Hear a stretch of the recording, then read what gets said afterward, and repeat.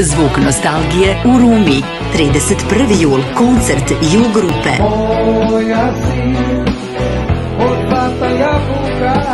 Dođite da slušamo hitove za sva vremena.